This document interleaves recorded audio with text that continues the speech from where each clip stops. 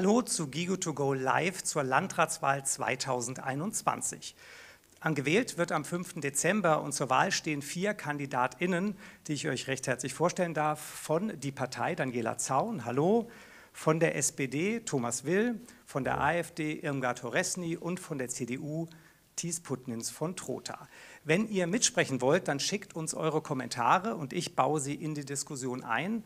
Um das Facebook-Management kümmert sich heute, wie auch am Montag, Matthias Thon von der Facebook-Gruppe Vision. Ich grüße dich. Schönen guten Abend, hallo.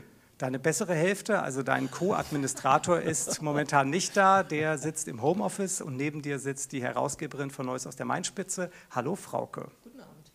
Und im Homeoffice sitzen noch Julia und Markus von der Facebook-Gruppe Gigu, die kümmern sich um eure Kommentare. Weil man einem Landratskandidaten nicht so häufig über den Weg läuft wie einem Bürgermeisterkandidaten, stelle ich euch die Damen und Herren jetzt erstmal persönlich vor und wir starten mit dem Amtsinhaber Thomas Will. Thomas ist seit der, das ist seine zweite Amtszeit als Landrat. Er ist 62 Jahre alt, verheiratet, hat zwei Kinder, einen Enkel, zwei Patenkinder. Er ist leidenschaftlicher Radfahrer und er wohnt in Bischofsheim. Thomas, wie das bist mit du? Den, mit den ähm, Patenkindern stimmt nicht. Das Nicht? Partnerkinder. Partnerkinder? Ja. Okay, Das also Partnerkinder. Was, das- was ist ein Partnerkind? Die Ehefrau, des, also die Schwiegertochter oder die Freundin des Sohnes. Okay, also Patenkinder hast du noch Ja, nicht, du wärst aber offen dafür. Ja. Okay. Ähm, wie bist du zur Auftrag Politik jetzt. Was war das ein Angebot das Oh. mit dem Patenkind? Darüber reden? Wie bin ich zur Politik gekommen? Ähm, indem ich äh, in meiner Kinderzeit ähm, Bundestagsdebatten verfolgt habe. Außergewöhnliches Hobby. Äh, hat nicht zu irgendeiner Störung bei mir geführt, hoffe ich zumindest. Ähm, dann direkt danach über den Konfirmandenunterricht bei der evangelischen Kirche. Dann danach über eine Initiativgruppe, äh, bewusster Leben, neuer Lebensstil. Da kam das Patenkind übrigens äh, ins Spiel äh, in Indien, äh, für das wir hier Papier gesammelt und Glas gesammelt haben und äh, das Geld dann äh, transferiert haben, einfach um auf die Umweltbewegung aufmerksam zu machen. Ja, und danach irgendwann bei den Jusos gelandet, weil das waren die einzigen, die gegen äh, das bestehende Establishment aufbegehrt haben. Und ja, dann ging es einfach so weiter. Das heißt von Anfang an SPD oder warst du mal in einer anderen Partei? Es gab ja nichts anderes damals, wo man beitreten konnte. Was ist dein ursprünglicher Beruf? Landrat lernt man ja nicht. Nö, aber ich habe äh, im Landratsamt äh, angefangen als ähm, Auszubildender, also Lehrling, äh, Verwaltungsfachangestellter, dann ähm, gewechselt zum Regierungspräsidium nach Darmstadt, äh, gehobene Beamtenlaufbahn, Inspektor, Anwärter, Inspektor gewesen. Dann nach Frankfurt, äh, zehn Jahre staatliches Schulamt, von daher auch diese Affinität und äh, die, ähm, der direkte Bezug zur Bildung. Dort Sachgebietsleiter für Schülerangelegenheiten und dann über zehn Jahre Leiter des Schulamtes in Rüsselsheim gewesen. Kannst du in zwei Sätzen sagen, was ein Landrat so macht?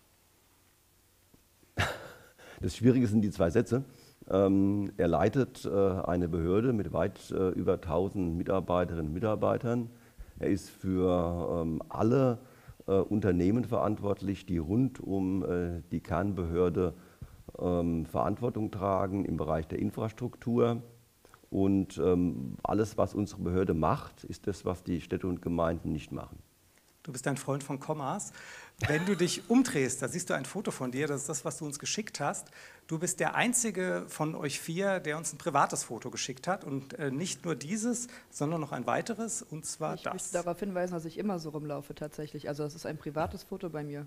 Okay, Ja. gut. Äh, du bist auch heute so angekommen, das kann ich an dieser Stelle bestätigen. Äh, trotzdem nochmal zurück zu dir, Thomas. Warum hast du uns Privatfotos geschickt und keine Pressebilder? Weil äh, ich äh, nicht äh, unterscheide zwischen äh, dem privaten Thomas und dem Landrat äh, Thomas Will, weil das für mich etwas ist, was fließend äh, ineinander übergeht und das dokumentieren dann auch die Bilder. Ähm, wenn ich sagen darf, konkretes Beispiel für heute. Ich hatte ein Gespräch ähm, mit ähm, einer Bürgerin aus meiner Heimatgemeinde Bischofsheim, da ging es um ein Problem. Und dann sagt sie irgendwann in dem Gespräch, ich sehe sie ab und zu ähm, beim Joggen laufen. Und da habe ich sie gesagt, ja, und ich habe mir schon mal überlegt, ob ich sie da ansprechen soll. Und dann, warum machen Sie das nicht? "Ah, Ich traue mich da nicht und deswegen offizieller Termin im Landratsamt. Also das ist was, äh, wo ich sage, dann direkt ansprechen. Ich gibt, gibt keinen Unterschied äh, bei mir, äh, ob ich jetzt im Büro bin oder laufe oder ähm, zu Hause oder ähm, ja, sonst wo. Was heute für den Livestream ganz wichtig ist, ist, dass wir sehr oft kurz und knappe Antworten bekommen. Und Okay. darum bitte ich dich jetzt, nein, nein, bisher war es war alle cool. Jetzt ähm, habe ich eine Runde, die heißt kurz und knapp. Ich habe drei Fragen an dich und du darfst jede Frage mit vielleicht einem Satz beantworten. Was schätzt du an der Kreisstadt Groß-Gerau? Die zentrale Lage und guten Einkaufsmöglichkeiten. Für welche Sehenswürdigkeit ist Trebur bekannt?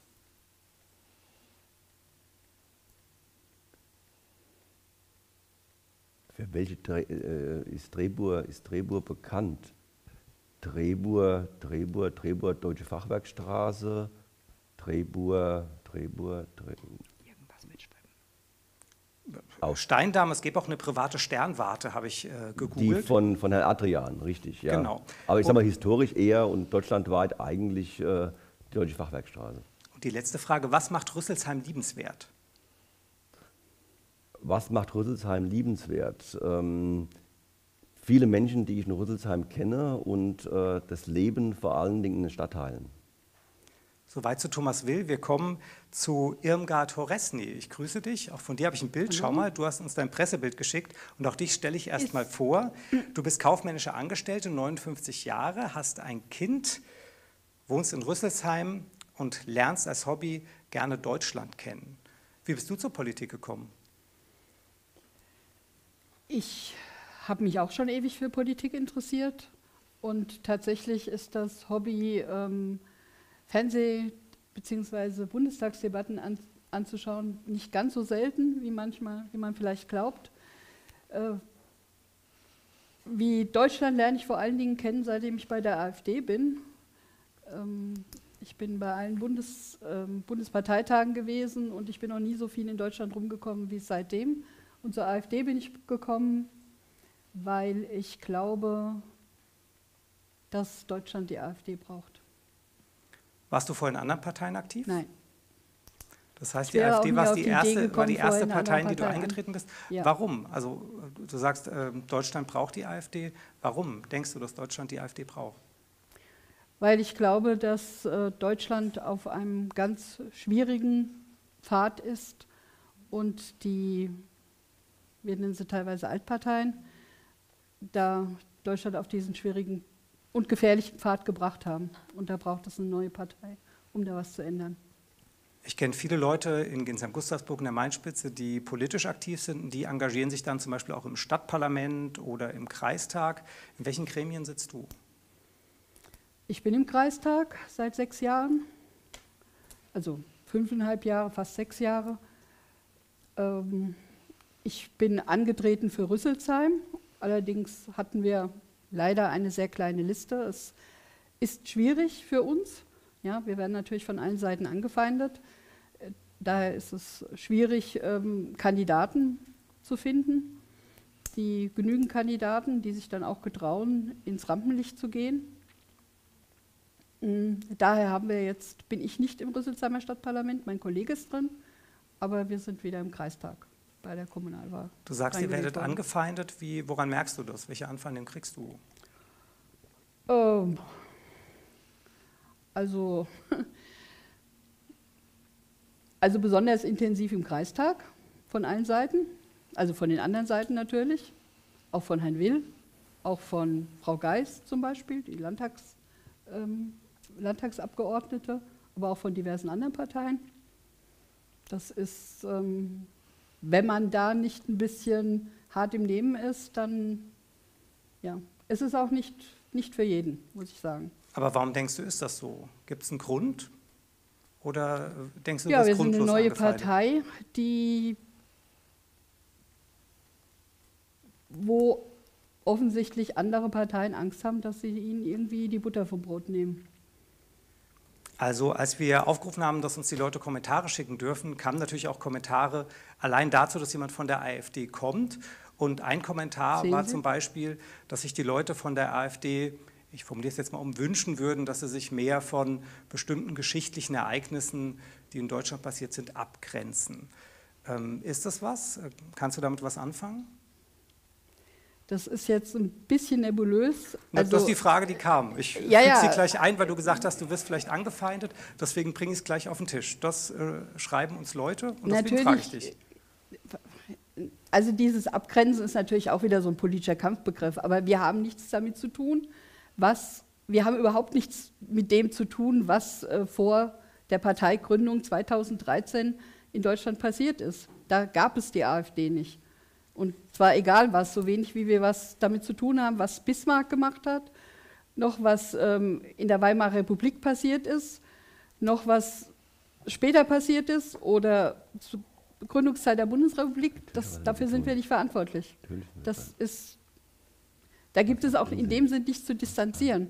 Ja? Damit haben wir die Antwort drin. Und es soll heute ja nicht um die Partei AfD gehen, sondern um die Landratswahl. Du bist Kandidatin.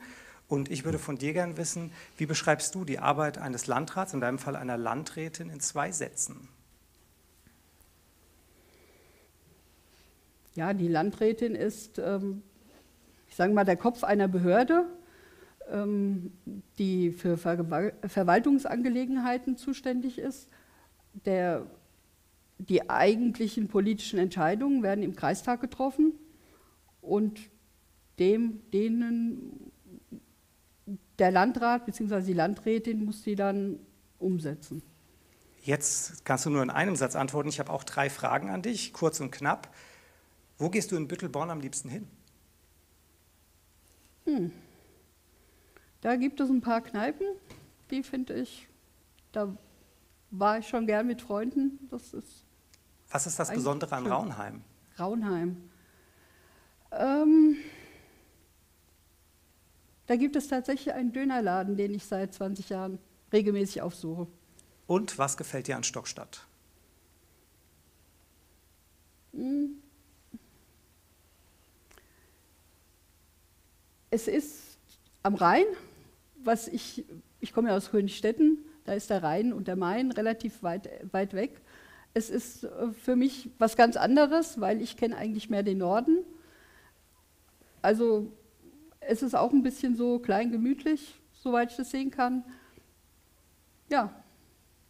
Lass ich gelten, bei der Frage gibt es auch keine richtige und falsche Antwort. Wir machen weiter mit Thies Putnins von Trotha von der CDU. Er ist noch Bürgermeister von Ginsheim-Gustavsburg, 40 Jahre alt, verheiratet, hat zwei Kinder, treibt gern Sport und wohnt natürlich in Ginsheim-Gustavsburg. Wie bist du zur Politik gekommen? Die Politik hat mich schon früh mitbewegt, durch mein Elternhaus, äh, Mutter und Vater früh engagiert gewesen. Äh, später auch ist meine Mutter die, bei der Grünen oder bei den Grünen eingetreten. Wir haben uns früh engagiert, auch bei Greenpeace, Green Team, sind unter anderem auch in Hamburg gewesen, äh, haben also dort schon viel mit, ich sag mal, Umweltschutz, Nachhaltigkeit zu tun gehabt, sind sehr ländlich aufgewachsen, wussten also, was das Thema Nachhaltigkeit, Klimaschutz mit bedeutet, haben uns viel über das Thema äh, Politik mit unterhalten, ausgetauscht und zur Politik selber in der Tiefe, wie ich sie jetzt betreibe, bin ich angefangen ungefähr im Jahr 2001, 2002, bin ich in die Junge Union eingetreten und äh, wollte mich dann, nachdem ich... Warum eine CDU-nahe Jugendorganisation und nicht die Grüne Jugend?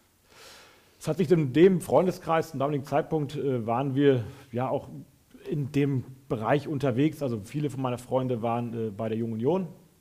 Und das war der Freundeskreis. Und grundweg die Werte damals auch und die Ausrichtung der Union haben äh, mir zugesagt und deswegen war es die Junge Union damals.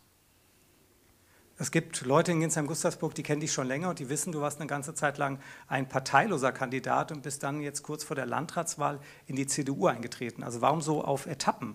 Warum nicht von vornherein? Warum also grundweg als Bürgermeister angetreten und hast gesagt, ich bin CDU-Mann. Genau, ich bin als Bürgermeister angetreten als Parteiloser. Das war zum damaligen Zeitpunkt die richtige Entscheidung. Ähm, wir haben uns hier, ähm, ich sage mal, damals gegen den SPD-Bürgermeister und die lange Historie äh, Gedanken gemacht, wie mag der Politikwechsel in Ginsheim-Gustavsburg vollzogen werden können. Das war damals dann die Entscheidung. Und jetzt ist auch die richtige Entscheidung, in die Partei eingetreten zu sein.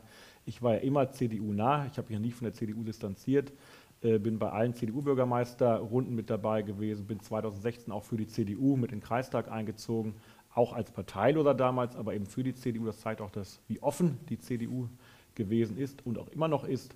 Und insofern jetzt finde ich es richtig, dass man als CDU-Landrat eben in den Wahlkampf gestartet ist. Was dein ursprünglicher Beruf?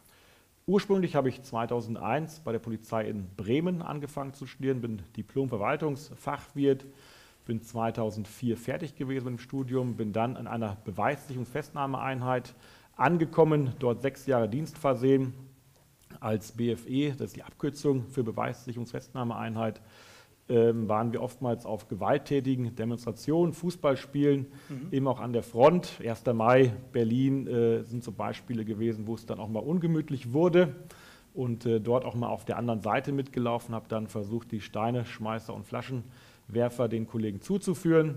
Bin dann zum mobilen Einsatzkommando gewechselt in Bremen, habe also dann Schwerststraftäter observiert im Bereich Islamismus, Terrorismus, Drogendealer im großen Stil und äh, das Ganze auch in Hessen weitergemacht und bin eben 2015 als Kandidat für die Bürgermeisterwahl aufgestellt worden. Und da machen wir weiter und bist Bürgermeister geworden. Und ähm, ich erinnere mich noch, wir hatten damals auch Videos gedreht. Und weißt du, was du das erste Mal gesagt hast zu mir, als wir uns getroffen haben, um über die Videos zu sprechen, die danach kamen? Du hast gesagt, du möchtest eigentlich keine Videos machen, weil es passiert dann irgendwann, man sitzt in einer Talkrunde und dann drückt jemand auf den Knopf und dann äh, kommt so ein Film. Und äh, genau das passiert jetzt. Es ist aber der einzige. Und zwar haben wir ja im Sommerinterview darüber gesprochen, dass du jetzt als Landrat kandidierst. Mhm. Und viele haben aber erwartet, dass du noch zum zweiten Mal als Bürgermeister antrittst. Und in diesem Video ist einem Zuschauer aufgefallen, dass du offensichtlich ein Lieblingswort hast habe viel Motivation, zum einen für die Stadt Ginsheim-Gustavsburg grundsätzlich weiterzumachen, aber die Themen auch für den Kreis haben mich so stark motiviert und motivieren mich weiterhin, dass ich sage, ja, ich möchte diese Aufgabe annehmen. Als Bürgermeister für die Stadt Ginsheim-Gustavsburg werde ich somit nicht mehr antreten. Warum? Ähm, Im Speziellen, weil mich die äh, Motivation auf den Landrat für den Kreis Groß-Gerau, für die Bürgerinnen und Bürger aktiv vor Ort zu sein, so stark motiviert. Ihn motiviert die Motivation? Das reicht mir nicht. Was konkret hat Herrn Putnins von Trotha motiviert, nicht, wie bei seinem Amtsantritt in Ginsheim-Gustavsburg versprochen, erneut als Bürgermeister, sondern nun als Landrat zu kandidieren? Thies, mach's konkret. Was motiviert dich? Mich motiviert die Arbeit im Kreis für die Bürgerinnen und Bürger. Ähm, ich habe jetzt aufgrund oder seit der Zeit 2016 die Politik im Kreis mitbekommen und äh, insofern stelle ich mir jetzt der Aufgabe, ich bin gefragt worden, ob ich als Landratskandidat antreten möchte und äh, das zeigt, glaube ich, die Aufgabe möchte ich annehmen. Ich befasse mich sehr tief mit den Themen des Kreises. Aber Leuten aus GIGU hast du eigentlich versprochen, du wirst hier ein zweites Mal antreten. Was sagst du denen? Es gibt Situationen im Leben, und auch diese Tür habe ich damals nicht gesehen, äh, die mir aufgemacht worden ist. Insofern, ja, muss ich leider dieses Versprechen von damals, diese Aussage, die Idee äh, leider negieren. Und ich glaube, das kann man nachvollziehen. Es gibt einfach Situationen im Leben, die man vorher nicht erwarten konnte. Wir machen weiter mit Daniela Zaun. Nee, stopp, wir machen noch nicht weiter mit Daniela Zaun. Wir springen nochmal zurück. Ich habe noch drei Fragen an dich. Äh, da kommst du mir nicht weg. Äh, kurz und knapp, aber ganz schnell, dass wir zu Daniela gehen können. Wo sollte man in Kelsterbach unbedingt hingehen? Äh, in Kelsterbach unten an äh, die Promenade. Dort, wo die, das ist eine Kneipe, so eine Art Bar auf hat. Und ich glaube, die ist sehr angenehm und gemütlich. Was kann man in Mörfelden-Waldorf besonders gut? In Mörfelden-Waldorf kann man sehr gut über den Markt gehen, zum Beispiel oder auch äh, ja, auf, die, auf, den Markt gehen, sagen wir es mal. Und warum sollte man unbedingt Nauheim besuchen? Nauheim, also ich persönlich besuche Nauheim sehr gerne, weil ich dort gut Tennis spielen kann und es dort einen neuen Pächter im Tennisheim gibt. Gut, und jetzt zu Daniela Zaun, die laut eigenen Angaben schwerbehinderte Rentnerin ist. Sie ist verheiratet, sitzt gerne auf der Parkbank und wohnt in Mainz. Und hat 0,7 Kinder. 0,7 Kinder, ja. Ähm, also noch, falls noch, das Patenonkel-Angebot da noch steht, ja. ne, wir können ja mal Wir reden dann drüber, machen wir. Ist die schwerbehinderte Rentnerin die Wahrheit oder Satire? Das ist die Wahrheit und nichts als die Wahrheit. Warum die Partei? Warum bist du nicht in einer anderen politischen Organisation tätig? Ich habe mir jahrelang tatsächlich alle Parteien mitunter angeguckt. Äh, die SPD hat mich auch sehr lange umworben, ohne Erfolg bisher. Und äh, bin dann nach, ich glaube, fünf Jahren Recherche in die Partei, die Partei eingetreten. Du hast dein eigenes Getränk mitgebracht. Ähm, ist dir das Ginsheim-Gustavsburger Wasser nicht gut genug? Ja, das ist äh, von der Hausmarke vom Rewe. das ist sogar mein Lieblingswasser tatsächlich. Äh, nein, das ist äh, tatsächlich Teil meines Wahlprogramms, das ich wahrscheinlich im Laufe des Abends vorstellen werde. Hast du mal einen Beruf gelernt? Was bist du eigentlich? Ich bin gelernte Pharmakantin für Produktion und Technik. Um es äh, einfach zu formulieren, ich habe im Industriepark Höchstnähe Kelsterbach, sieht man von mhm. da aus sehr gut übrigens, den Industriepark, viel zu gut, auf der anderen Seite vom Flughafen quasi, äh, gelernt, wie man legal Drogen herstellt. Okay, und wie macht man das? Äh, könnte ja für manche Leute interessant sein. Wie geht das? Ja, also in der im Dasein eines ehemaligen, äh, na, würden wir später drüber reden. Dann reden wir doch über was anderes. Und zwar gab es ein Interview in Neues aus der Mainspitze. Da hast du ein paar Antworten gegeben und es gab einen interessanten Kommentar. In Neues aus der Mainspitze fragten wir die Landratskandidaten unter anderem analog oder digital. Unser Gast Daniela Zaun von Die Partei antwortete mit E-Mails als Faxe verschicken, welche als Brief die Behörden erreichen. Auf Facebook kommentierte dazu jemand, die Partei ist ja für ihren Humor bekannt, aber die Darstellung der Kandidatin ist, um mit den Worten der Partei zu sprechen, besäufniserregend. Meinst du das ernst? Äh, das ist äh, die Realität tatsächlich. Also ich selbst darf als Rentnerin regelmäßig Anträge stellen. Und es gab zwar ein Gesetz, das gesagt hat, dass man irgendwann, also digital, die Akten vorliegen haben muss. Ich weiß, dass meine Akte zum Beispiel bei der Deutschen Rentenversicherung Bund noch in Papierform vorliegt. Wenn ich also dort anrufe, dann müssen die diese Akte erstmal suchen, die sie in einem Aktenschrank hoffentlich finden, wenn sie nicht auf einem anderen Schreibtisch liegt. Um dann den Prozess weiter bearbeiten zu können, muss ich meistens einen Fax schicken oder eine E-Mail oder halt das in dem benannten Kommentar genauso ablaufen lassen. Okay, also das die ist, Wahrheit das, das, ist, das ist die, die Realität. Die Wahrheit ist auch, du wohnst in Mainz. Wie kommt jemand aus Mainz dazu, sich im Kreis Groß-Gerau als Landrätin aufstellen zu lassen? Ich bin die beste Option gewesen und ich selbst habe auch äh, eine Zeit lang hier gelebt. Wo hast du gewohnt? In Gustavsburg. Okay. Direkt an der Schleuse.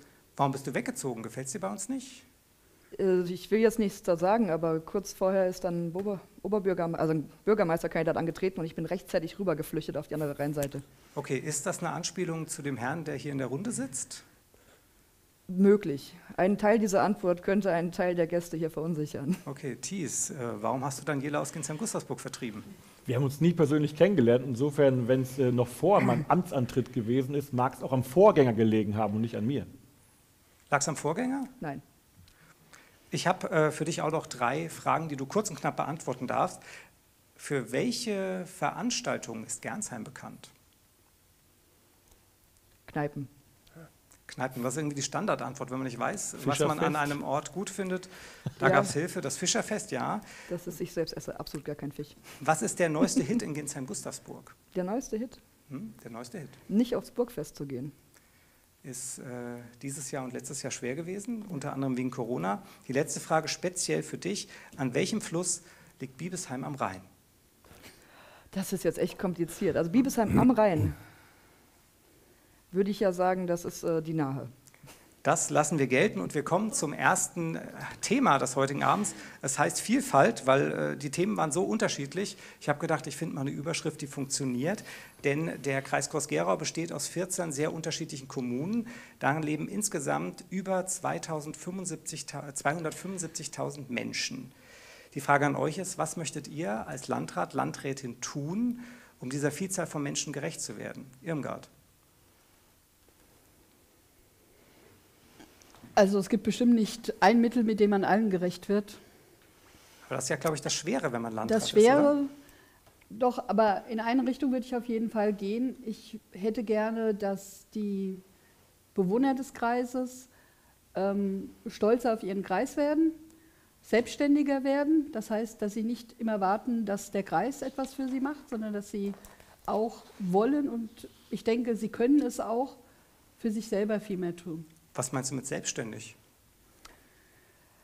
Ja, das habe ich jetzt auch ein bisschen aus unseren letzten Sitzungen im Kreistag mitgenommen. Es, ähm, insbesondere von der dortigen Koalition gibt es immer wieder Anträge, die darauf hinauslaufen, dass ähm, der Kreis so tut, als könnte er allen helfen und ähm, alle in, in allen Lebenslagen unterstützen. Und ich glaube, dass das ein Irrtum ist und ich glaube auch, selbst wenn es ginge, dass das gar nicht gut für die Menschen ist. Okay, Thomas, sollte der Kreis den Menschen weniger helfen? Ganz im Gegenteil. Also ich glaube, dass äh, Kommunen die Aufgabe haben, äh, Menschen zu helfen. ähm, gerade wenn sie in Notsituationen ähm, sind und gelangt sind. Das ist eine zentrale Aufgabe von uns, auch eine persönliche von mir. Aber um auf die Frage zurückzukommen, ähm, was wir dazu tun können und das Thema Vielfalt, äh, nur einen Satz oder zwei Sätze dazu. Das fängt bei mir im Bildungsbereich an.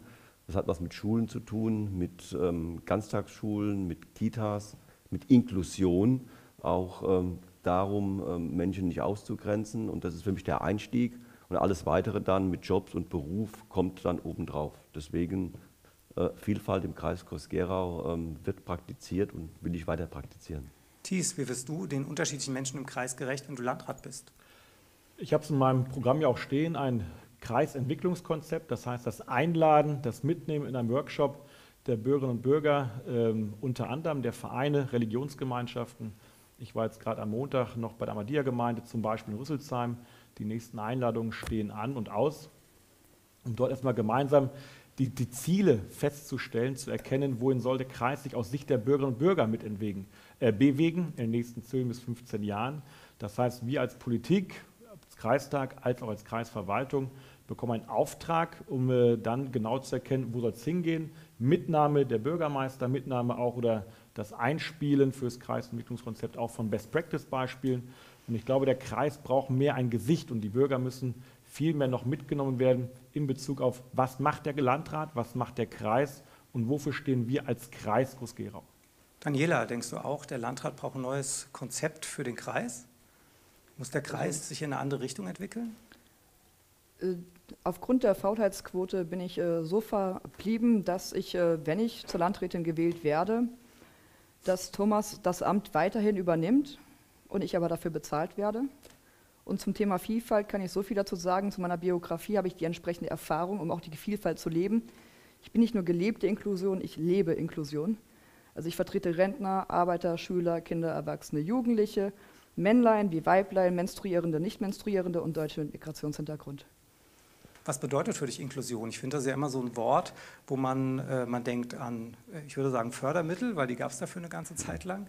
Was bedeutet für dich Inklusion? Ja, als äh, schwerbehinderter Mensch äh, bedeutet für mich Inklusion tatsächlich äh, die Teilhabe am Leben.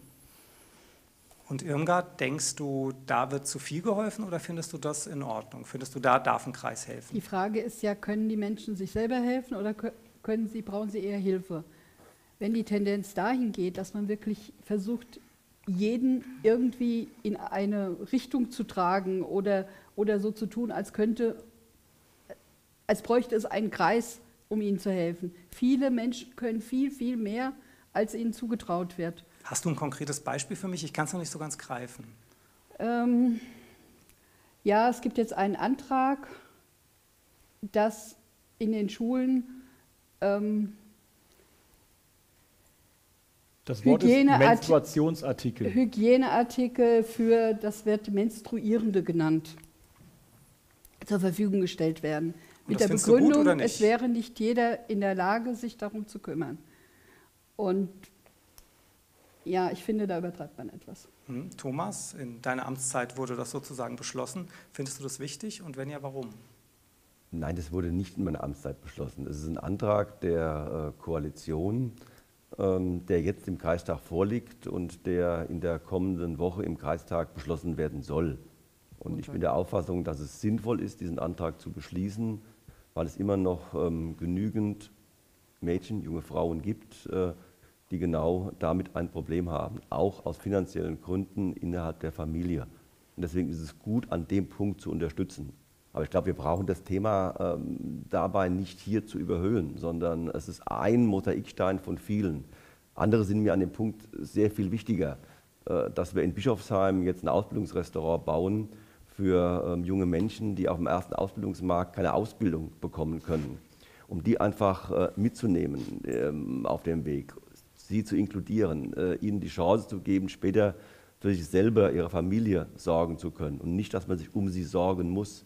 Das ist für mich gelebte Inklusion und das ist für mich äh, gelebte äh, Politik, ähm, auch um Menschen nicht auszugrenzen. Und darum geht es mir. Das ist mir viel wichtiger als ähm, das, was wir eben gerade vorher diskutiert haben. Okay, Irmgard, ist das ein Thema, wo du sagst, da gehe ich mit?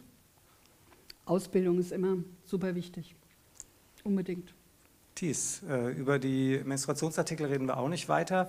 Das, was in Bischofsheim gerade ähm, passiert, was Thomas angesprochen hat, sagst du, das ist was Wichtiges, das braucht der Kreis? Muss das durch einen Landrat unterstützt werden? Ob durch einen Landrat oder auch durch die Kommunen vor Ort, durch die Bürgermeister. Wir haben zum Beispiel den Basis-EV bei uns in Ginsheim-Gustersburg. Du wirst es kennen, der Bereich der Zinsschule. Dort wird der Basis-EV sich demnächst neu, eine neue Heimat errichten. Da stehen wir intensiv in Kontakt. Und zwar ist wichtig, den Basis e.V. im sozialen oder soziokulturellen Zentrum mit eine neue Heimat zu bieten, also mitten in der Stadt quasi auch die Bürgerinnen und Bürger mit besonderen Fähigkeiten auch ein Gesicht zu geben. Wir denken über einige Themen nach, wo möglicherweise auch durch die dann neu geschaffenen Räumlichkeiten auch das Essen zum Beispiel für die Kitas bei uns in Ginsheim-Gustersburg mit, ähm, ich sag mal, bekocht werden kann. Insofern, dieses Thema steht auch bei mir ganz weit oben auf der Prioritätenliste. Ich weite das Thema Vielfalt mal ein bisschen aus, denn es gibt auch vielfältige Arten der Fortbewegung. Man kann mit dem Auto, mit dem Fahrrad, ÖPNV, Flugzeug und mit der Bahn unterwegs sein. Jeder mag was anderes. Wie wirst du das als Landrat mit Klimaschutz vereinbaren? Also als Landrat, äh, ich sag mal, wird es nicht einfacher, äh, so viel Fahrrad zu fahren, wie ich es derzeit als Bürgermeister tue. Ich habe ja meinen Dienstwagen eben nicht bestellt damals, fahre fast in Ginsheim-Gustersburg nur mit dem Fahrrad. Das merkt man jetzt durch den Landratswahlkampf, das funktioniert nicht. Ähm, insofern braucht man da schon die Mobilität. Man muss aber gucken, wie groß muss das Auto sein, wie ist der Antriebs, äh, die Technologie des Fahrzeugs.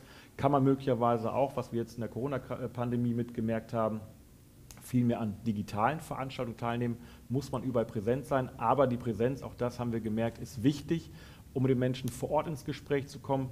Nur digital und nur auf Abstand wird nicht funktionieren. Aber wie geht es dann? Also wenn es äh, digital nicht funktioniert? Also schon mit dem Auto. Ein Auto braucht man schon. Man braucht schon ein Auto, aber du kannst ja nicht 275.000 Menschen ein E-Auto äh, bewilligen. Oder möchtest du das als Landrat tun? Hörte sich gerade so an. Ach so, nein, ich dachte, die Frage nur als, auf die Person bezogen. Also wenn es grundweg um das Thema Mobilität im Kreis geht. Na, es, es äh, geht nicht nur um dich persönlich, sondern du willst ja Landrat werden. Und die genau, Frage ist, äh, was bedeutet Klimaschutz für den Kreis Groß-Gerau? Dann geht es um die Themen natürlich Ausbau vom Carsharing-System auch da habe ich in Ginsheim-Gustersburg, glaube ich, schon einige Beispiele mit, ähm, ich sage mal, erarbeitet. Wir haben hier vier Carsharing-Stationen plus elf Stationen von dem äh, Mietratsystem MVG Mein Rad. Von diesen zentralen Stationen gibt es auch einen, äh, einen Kreis. Thomas schüttelt schon den Kopf. Äh. Ja, weil der Rahmen vom Kreis gemacht worden ist, im Rahmen des Mobilitätskonzeptes, ja, von Frau Knagen, von Herrn Both. Es ist vollkommen in Ordnung, dass die Kommune das tut, ja. Aber den Rahmen hat der Kreis gemacht. Ich gebe es nur einfach mal äh, in die Runde rein, ja. Mhm. Also ich, ich kann das auch gerne für, für Bürger und Bürgerinnen übersetzen. Hier wird sich mit fremden Lorbeeren geschmückt, um das übersetzt darzustellen. Okay, Nein, ich glaube, das Carsharing-System, die Mobilitätsstation, äh, Herr Will, hat nicht der Kreis gemacht. Der Kreis hat sich bei der erstmaligen Installierung äh, der Station beteiligt, nicht mehr und nicht weniger. Das ist auch gut so. Insofern, äh, da arbeiten wir mit dem Kreis auch zusammen. Aber grundweg zeigt es, dass es von diesen Stationen mit Sicherheit mehr auch im Kreis geben kann. Das Thema Digitalisierung, also wie kann der ÖPNV ausgebaut werden, ist ein ganz wichtiges. Mobilitätswende gelingt nur, wenn es ein vernünftiges ÖPNV-Angebot gibt. Äh, da müssen wir dran arbeiten. Es braucht einen neuen Mobilitätsplan für die Bürgerinnen und Bürger. Denn wenn man das Fahrzeug oder auf das Fahrzeug verzichten möchte, dann braucht es das Angebot und nicht nur das kostenlose Angebot. Thomas, warst du bisher in diesen Punkten untätig? Also man könnte das meinen, wenn man das jetzt hört, äh, wir wären hier irgendwo in der Diaspora. Das Gegenteil äh, ist der Fall an dieser Stelle. Der Kreis Groß-Gerau ähm, hat die erste, die, war der zweite Landkreis, der Mobilitätsbeauftragte und Fahrradbeauftragte eingestellt hat. Wir legen gerade die dritte Auflage vor des Fahrradnetzausbaus im Kreis Groß-Gerau. Wir sind da nicht perfekt, aber wir sind in den letzten zehn Jahren äh, Wege gegangen, die in vielen anderen Kreisen nicht gegangen worden sind und ähm, für die wir in Hessen mittlerweile Benchmark sind. Aber das ist nicht alles. Wir haben beschlossen, dass wir den gesamten ÖPNV, die Busse, bis zum Jahre 2029 im Kreis Groß-Gerau auf Wasserstoff umstellen werden. Auch da sind wir der erste Flächenkreis in Hessen, der dies gemacht hat.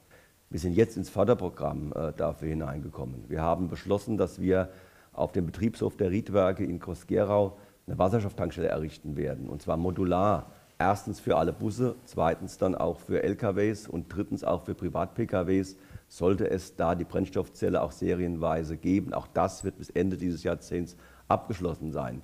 Das ist nichts, was wir erst tun wollen, sondern es ist etwas, was wir in den letzten Jahren aktiv gemacht haben und wo ich wirklich sehr stolz darauf bin, dass das die Kolleginnen und Kollegen so umgesetzt haben.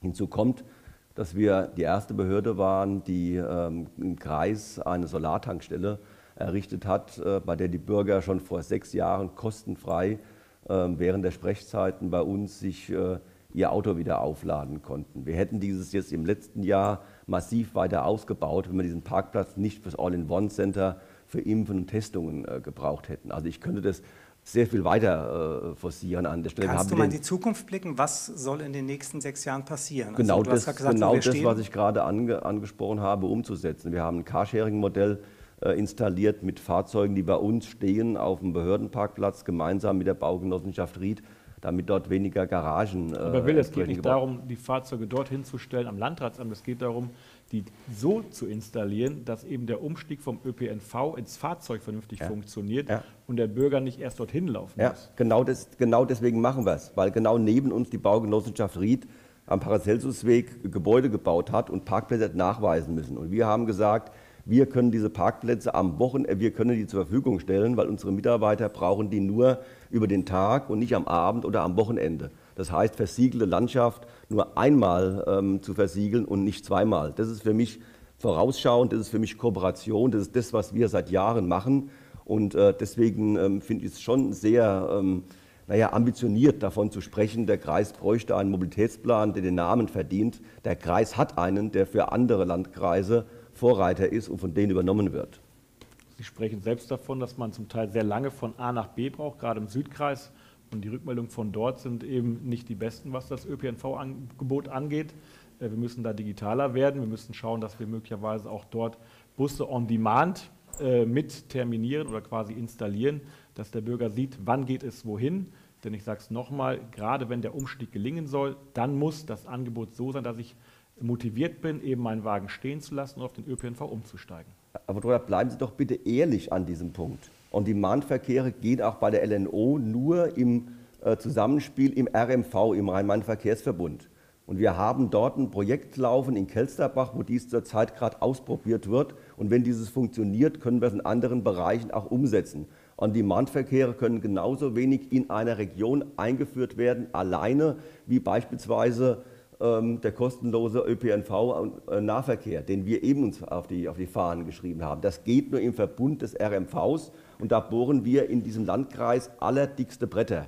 Und ehrlich gehört aber auch dazu zu sagen, dass der ÖPNV im Kreis Groß-Gerau jährlich uns 5 Millionen Zuschuss kostet, die nicht durch Fahrgasteinnahmen gedeckt sind. Davon zahlt 2,5 Millionen der Kreis und 2,5 Millionen zahlen Städte und Gemeinden. Wenn ich da mehr will, was ich gerne möchte, dann muss ich an dem Punkt auch sagen, dann nehme ich mehr Geld in die Hand an dieser Stelle. Und da kommen wir wieder zu dem Punkt, wo Kommunen sagen, das können wir nicht, weil es wird für andere Aufgaben gebraucht. Also wer mehr Leistung will, muss die auch bezahlen. Und zu den Finanzen kommen wir später. Ich würde die Gelegenheit gerne noch nutzen, die Irmgard erstmal ja. reinzuholen, weil du hast eben gelacht. Gerne, gerne, gerne. Also da sind, da werden ganz viele Illusionen gepflegt oder Fata Morgan oder Wunschdenken ist an der Tagesordnung das fängt von vorne bis hinten an. Also E-Autos zum Beispiel sind die dreckigsten Autos überhaupt. Um die Batterien herzustellen, wird so viel Umweltzerstörung betrieben, ja. dass es eigentlich eine Schande ist. Es wird nicht in Deutschland die Umwelt zerstört, sondern in Südamerika und im Kongo. Da sieht man es nicht von hier aus, da guckt man nicht hin und deswegen interessiert es einen nicht. Die Energie der Strom, der für Elektroautos verwendet wird, der kommt aus dem normalen Strommix. Und da haben wir im Moment, wenn man die, den gesamten Energieverbrauch in Deutschland anschaut, kommen etwa 16, 17 Prozent bisher aus den sogenannten erneuerbaren Energien. Und da muss man schon sagen, Windenergie ist auch umweltzerstörend. Wenn man mehr Vielleicht machen wir es mal konkret. Was, was ist dein Vorschlag? Also alles soll so bleiben, wie es ist oder back to the roots? Also sollen wir wieder noch, noch uns also alle Wohl, mit Unser Wohlstand verdankt sich, verdankt sich der Energie, der Energie, die wir haben, über die wir verfügen können. Je mehr, das ist, meinen je Sie die teurer, Braunkohle, je teurer die, die Umwelt die Energie zerstört wird oder, oder je knapper die, die Energie wird, desto, desto mehr wird unser Wohlstand schwinden. Das ist, das ist eine, also das ist eine Logik, die dagegen kann man nicht an. sagt ja. Irmgard Horesny von der AfD. Daniela, also ich bin der festen hast, Überzeugung, was ist deine Meinung zum Klimaschutz? dass, dass unser Wohlstand daher dient, dass wir eine Automobilindustrie haben, denn das ist ja eindeutig klar, ohne Autos wären wir gar nichts. Also da, da, Energie bringt uns da auch nichts weiter. Also wir haben Autos, wir brauchen Autos. Waffenlobby ist auch sehr wichtig. Also am besten sollten wir Autos bewaffnen und die in die Luft bringen. Also für 5 Millionen Euro kriege ich bestimmt einige Flugtaxen, die ich bewaffnen kann mit einem äh, Brennstoffantrieb oder sonstiges. Das kriegen wir schon gebacken. Hm, und das in Turbopolitik. Also das würde ich auch direkt in, in, zwei Wochen. Wie lange braucht man so eine Lieferzeit für so ein Flugtaxi mit Waffe? Das sind Sendezeiten. Also das auf jeden Fall, wenn man, wenn man ein Auto äh, mit weiteren Features ausstattet, braucht man dafür auch Energie. Und ähm, ich, hab, ja. ich läute mal ein weiteres Thema ein, und zwar das Thema erneuerbare Energien. In GIGO gibt es eine Partei, die hat die Vision einer Energiegenossenschaft. Wäre das auch was für den Kreis Groß-Gerau, Daniela?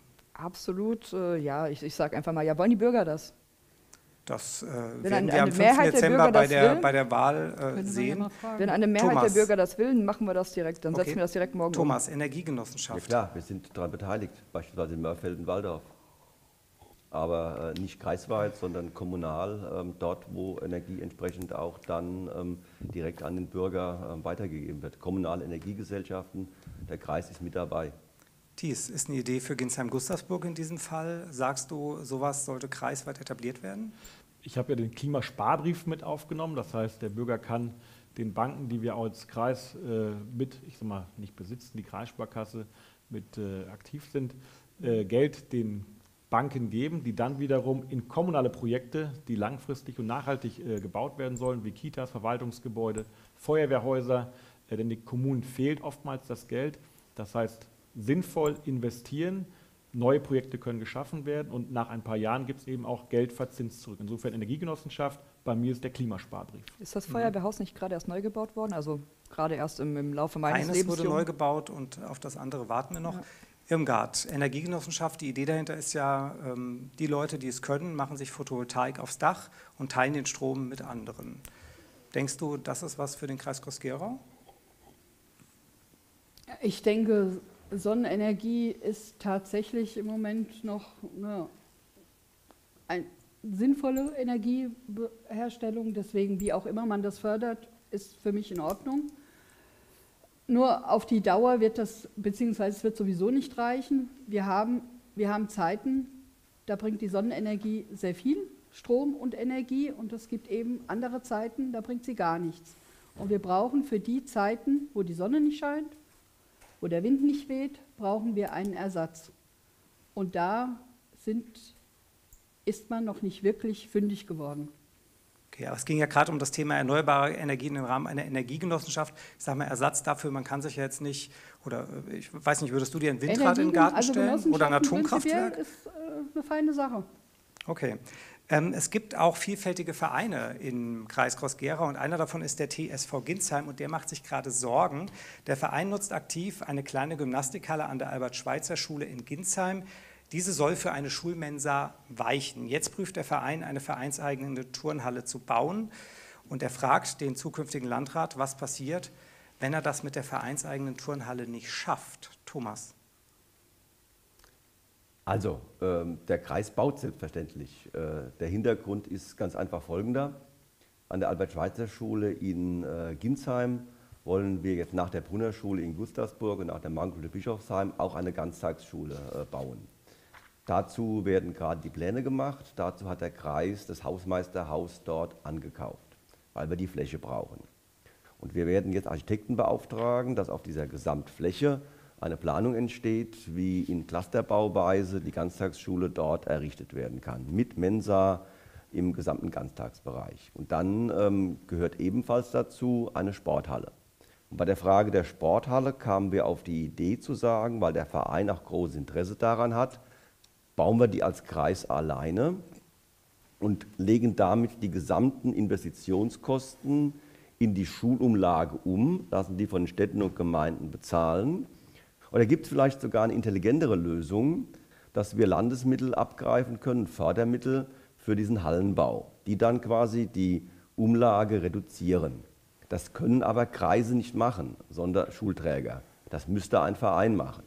Und deswegen sind wir dabei, mit dem Verein in Gesprächen zu klären, wenn das dann in zwei, drei Jahren konkret ansteht, ob der Verein sich vorstellen könnte, als Bauherr aufzutreten, damit die Landesmittel zu bekommen und der Kreis kofinanziert mit 2,5, 2,8, weiß ich nicht, Millionen Euro, um dann eine entsprechende Zweifeld oder vielleicht sogar, wenn die Kommune noch mehr Gelände zur Verfügung stellt, Dreifeldhalle zu bauen. Ist für mich ein Punkt, eine Win-Win-Situation. Wir bekommen eine Halle und gleichzeitig aber belasten wir Städte und Gemeinden weniger. Einfach ein kleines Puzzle-Mosaikteil, äh, wenn es darum geht, äh, Umlageverpflichtungen. Und, und was wäre, wenn der Verein feststellt, wir schaffen es nicht, die Halle selbst zu bauen? Wenn der Verein nicht in der Lage dazu ist, wird der Kreis selbstverständlich, wie an allen anderen Standorten auch, äh, die Hallen selber errichten, genau wie wir Schulen errichten. Thies, siehst du das auch so? Also das Thema Grundstück ist erstmal die erste Frage. Ähm, da müsste notfalls ein neuer B-Plan erstellt werden, dass also zwischen der Ulmenstraße, wer sich hier auskennt. Mach es vielleicht nicht so kompliziert, sondern wirklich die Frage, ähm, was passiert? Der, der Verein braucht diese Halle da vor Ort. Er soll sie jetzt selber bauen. Angenommen, er schafft es nicht. Was machst du als Landrat? Sagst du, dann habt ihr halt keine Halle Pech gehabt oder kümmerst du dich darum, dass der Verein diese Halle bekommt? Also grundweg braucht der Kreis erstmal die Halle. Insofern äh, ist es wichtig, dass wir auch für den Schulunterricht die Halle brauchen äh, und dementsprechend notfalls auch finanzieren. Die Idee, dass der Verein über Fördermittel die Halle quasi mitfinanziert, mag sinnvoll sein. Die Probleme sind aber auch teilweise noch beim Verein nicht bis ins Detail gesprochen. Also kann der Verein sich eine solche Halle leisten? Wie sind auch doch dann äh, zukünftig die Mitgliedsbeiträge für die Mitglieder zu berechnen? Insofern, die Diskussion ist noch gar nicht zu Ende. Sie beginnt gerade erst und äh, auf den Gesprächsverlauf bin ich sehr gespannt. Das war auf jeden Fall kein Ja. Aber trotz allem kommen wir jetzt mal, wenn da ja, nicht noch jemand. Der Verein wird tendenziell die Halle brauchen, so ist das nicht. Der Bedarf auf der einen Seite ist da. Wir müssen aber schon gucken, können möglicherweise auch Hallenzeiten anderweitig mit genutzt werden. Also die Symbiose ist, glaube ich, wichtig. Verstanden. Die Problematik liegt darin, dass hier gar nicht weit genug gedacht wird und auch gar nicht äh, über den Tellerrand hinaus. Also im schlimmsten Fall müssen wir halt den Verein umbenennen. Dann wird das der Braunkohleabbauverein, dann werden wir halt Braunkohle abbauen in dem Gebiet auch noch. Dann haben wir auch Energie, damit die AfD auch glücklich sein. Dadurch schaffen wir wesentlich mehr Arbeitsplätze. Wir könnten das MAN wieder neu besetzen. Also da wird nicht weit genug gedacht tatsächlich. Zur Not müssen wir einfach neue Vereine gründen und alte sterben lassen. Das lasse ich mal so stehen. Wir kommen jetzt zu, ähm, zum ersten Quiz des heutigen Abends, denn wir haben uns überlegt, ein Landrat sollte ja den Landkreis, in dem er Landrat werden will, auch kennen. Deswegen heißt das Quiz, wie gut kennst du den Kreis GG? Und es gibt auch was zu gewinnen und das hat was damit zu tun. Ähm, das sind Überraschungseier. Die Ahrtal Fluthelfer Mainspitze wollen 4000 Kindersocken füllen mit Süßigkeiten, um die an Weihnachten zu verschenken an die Kinder im Ahrtal. Und äh, Christian Merker, ein Rewe-Betreiber hier aus Gustavsburg, sammelt Eier. Man kann sie bei ihm an der Kasse kaufen und in einen Korb legen. Er hat schon 1827 und für jede richtige Antwort legen wir 100 Eier obendrauf. Wir starten mit dir, Daniela. Es geht bei dem Quiz um Städtepartnerschaften. Ich möchte wissen, mit welchen Städten, mit welchen Ländern ist Bischofsheim verschwistert? Eindeutig mit Mainz, denn das heißt eigentlich Mainz-Bischofsheim. Kann jemand Daniela helfen, dass wir den Punkt kriegen? Äh, neben dir sitzt ja ein Bischofsheim. Aber die Antwort ist klasse. Also ich meine, wir. Also, also er wird ja, auf jeden Fall äh, andere Städte noch aufzählen. Ich könnte mir vorstellen, auch jetzt mal mit Mainz wieder irgendwas als Bischof zu machen, weil dann kämen ein paar Millionen von äh, Biontech zu uns rüber. Also von daher Jetzt auf einmal, wo wir Geld haben. Also, ja. ja gute Idee, ja. Kann jemand helfen? Städtepartnerschaften ah ja, also ich von Bischofsheim. beide, beide Partnerstädte mit dem Fahrrad erradelt. Äh, Djerdjonjow und Kruhen-Nantwich. Sage ich doch meins. Das ist richtig. Damit ähm, 100 Eier für dich, die ins Ahrtal gehen. Gern geschehen. Wir machen weiter mit Irmgard. Irmgard, ich möchte von dir wissen, mit welcher Stadt, mit welchen Städten ist Ginsheim-Gustavsburg verschwistert? Meins. Muss ich passen. Musst du passen? Vielleicht findest du Hilfe in der Runde. Das ist ich helfe ungern der AfD, aber in diesem Fall für 100 Eier mache ich es gerne. Äh, die Städtepartnerschaft Bourgogne. Das sehr günstig. Bourgogne und das ist richtig. Und es wäre auch, hättest du es nicht gewusst, äh, hätte ich dir den Schlüssel fürs Rathaus an dieser Stelle abnehmen müssen. Ich hätte ihn freiwillig abgegeben, ja. Die nächste Frage kommt an dich. Ähm, mit wem ist Mörfelden-Walldorf verschwistert? Muss ich jetzt passen? Ich, jetzt noch ich würde jetzt mal sagen in Frankreich, aber mehr kann ich da jetzt Frankreich ist, ist auf jeden Fall eine. Äh, kann jemand helfen? Wie viele Städtepartnerschaften äh, hat Meffelden-Walldorf? Hat jemand eine Idee? Zusammen kriege ich sie nicht. Ich äh, weiß nicht, ich meine drei, aber ich weiß nur, drei dass ist, drei ist schon mal richtig. Drei, Frankreich gehört dazu. dass, der, dass der Bernhard Brehl sich damals sehr stark für, für Wageningen eingesetzt hat. ja, mehr, und in welchem Land ist Wageningen? Niederland, Holland. Niederland, genau, Wageningen, das ist schon mal richtig. Aber mehr weiß ich nicht. Frankreich, man hätte drauf kommen können. Wie Troll in Frankreich, Wageningen in Holland und Toro Pellice. Die Eier gibt es aber trotzdem. So, machen wir an dieser Stelle mal so. Und Thomas, von dir möchte ich wissen, Riedstadt, welche Städtepartnerschaften gibt es dort? Ich meine auch drei, aber. Ja, drei ist richtig. Eine, eine äh, kenne ich, weil es ist immer so die persönliche Beziehung. Der Gerald Kummer hat da Hilfstransporte hingefahren, das ist Taurage in, in Litauen. Richtig. Ähm, auch im Fahrrad vorbeigefahren, aber nicht direkt durch. Die anderen beiden kriegen. Eine in Frankreich und. Ja. Boah. Nee. Also, okay, also Frankreich und Litauen ist richtig. Äh, Frankreich wäre Brienne-le-Château ah, okay. und äh, Italien Sortino. Das lasse ich auch an dieser Stelle mal gelten. Frag mal nach Biebesheim, weil das ist Palle de Colle, die in Apulien, die haben mich auch eingeladen gehabt. Und das ist äh, ja. Weltreise bis darunter. Also von daher, aber gut. Und da ich nicht fliege, äh, war das in der Tat zwei Tage. Äh. Gib mir zwei Wochen, wir haben die Flugtaxen demnächst. Alles gut, okay. Wir kommen zum Thema, was eben schon angeklungen ist, das Thema Finanzen. Und äh, hier steht eine Frage, die äh, ich vielleicht erstmal dem Thies stellen möchte. Wie sieht die finanzielle Situation des Kreises Groß-Gerau aus? Sie könnte besser aussehen. Äh, wir haben eine hohe Verschuldung. Wir haben äh, für die Kommunen leider Gottes die höchste, äh, den höchsten Schnitt an, Gewerbe, äh, an der Grundsteuer B. Es gibt keine, keinen Kreis im Land Hessen, der einen höheren Schnitt hat. Der Schnitt ist bei uns bei 639 Hebepunkten und im Schnitt Hessen bei 492 Punkten.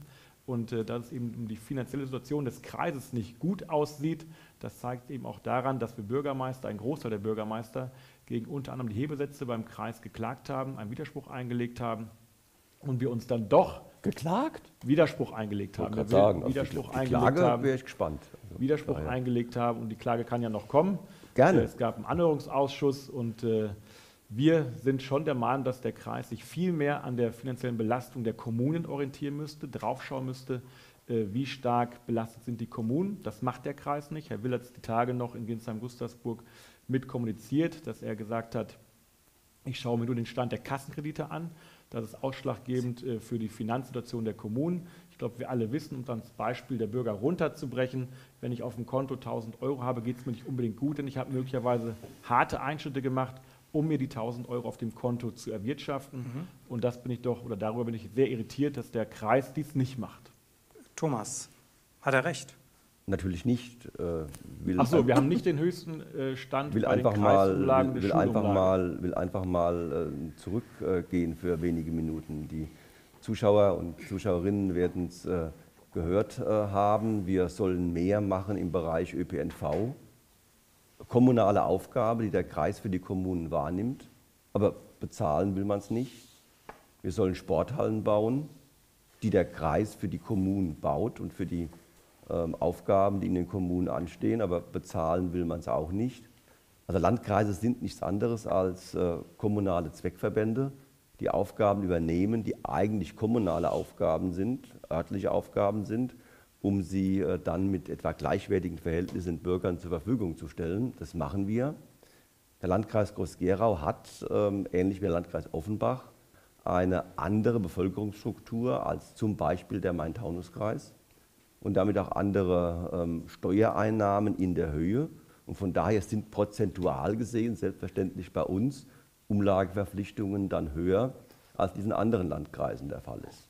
Aber das also, Problem, das wir vom Grundsatz haben, das ist ja nichts eins, was zwischen Städten äh, und Gemeinden und dem Kreis passiert. Das ist immer etwas, was zwischen den Parteien hin und her geschoben wird. Das Hauptproblem haben wir, dass Kommunen, Kreise und Städte und Gemeinden grundsätzlich unterfinanziert sind. Das heißt, wir bekommen Aufgaben übertragen, aber nicht die entsprechenden Mittel dazu.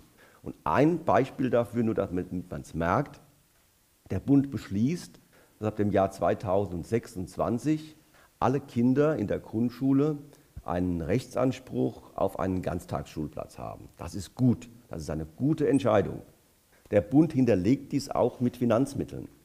Aber wenn man dies jetzt, ich nenne es mal vorsichtig, äh, kalkuliert, dann werden da 25 Prozent der Kosten bezahlt.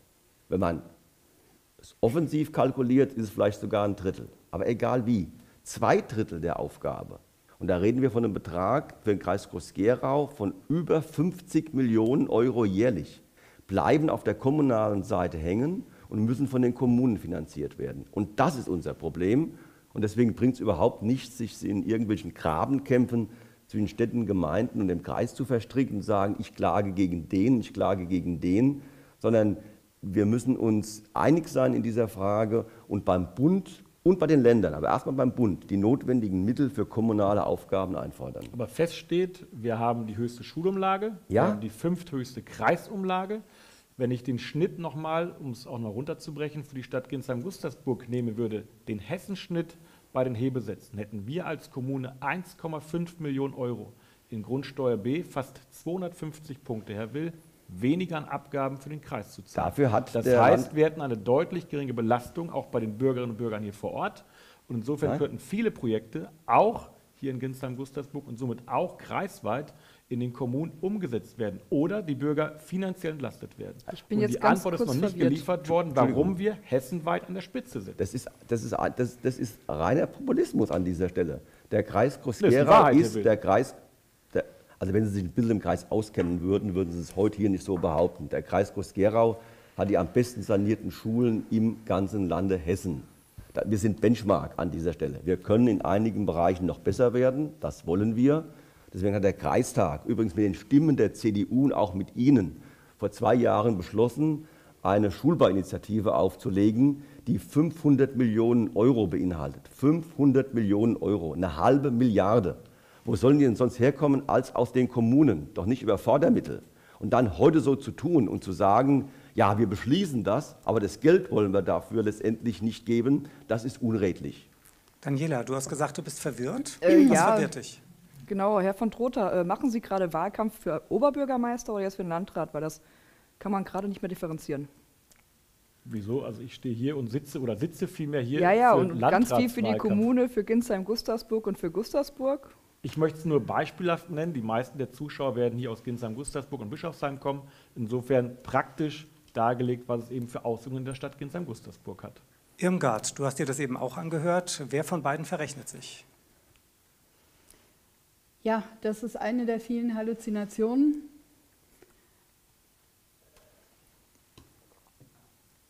Herr Will sagt, der Kreis gibt das Geld aus. Mhm und tut den Bürgern im Kreis was Gutes. Nur um das Geld auszugeben und um den Bürgern im Kreis was Gutes zu tun, muss das Geld erstmal irgendwo herkommen.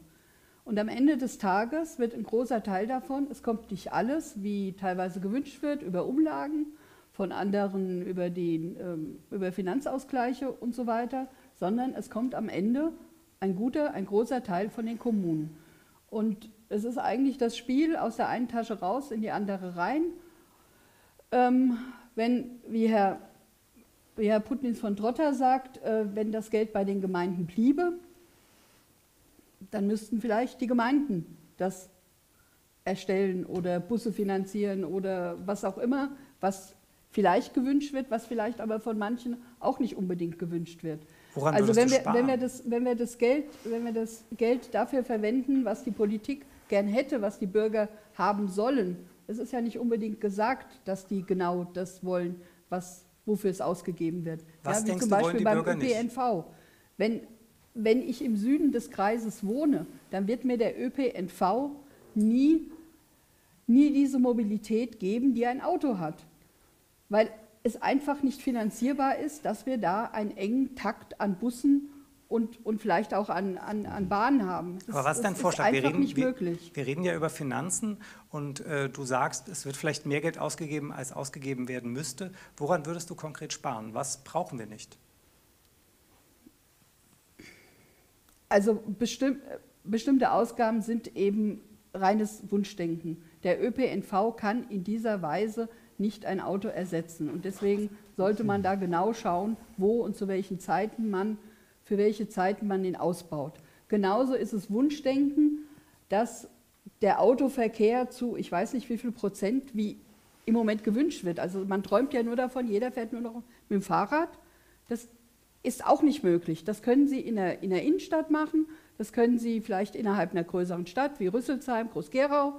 Da, da gibt es vielleicht einige, die, die mit dem Fahrrad äh, regelmäßig die dreh, Wege fahren. Drehen, drehen Aber wenn Sie im Süden wohnen oder wenn Sie mhm. über Stadtgrenzen hinwegfahren, da, da, fährt fast keiner mit dem Fahrrad. Das ist einfach. Dann, dann drehen, dann drehen wir es mal um. Woran sollte deiner Meinung nach auf gar keinen Fall gespart werden?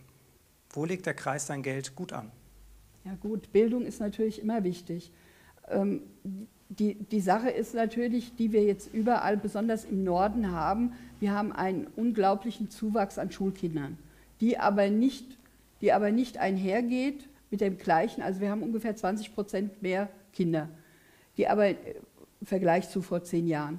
Das geht aber nicht mit einer 20-prozentigen Steigerung der Einnahmen her. Deswegen sind diese 500 Millionen, von, der von denen wir jetzt gerade gesprochen haben, die wird am Ende des Tages irgendwie von der, aus der Substanz der Bürger auch mitbezahlt.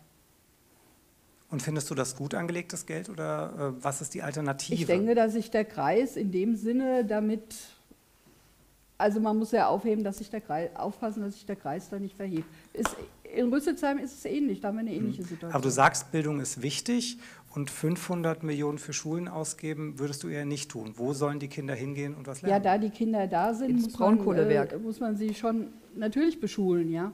Vielleicht, also ob diese Passivhäuser, die wir im Kreis machen, also wir haben ja wirklich teilweise auch die Mensen, in jede Schule eine Mensa.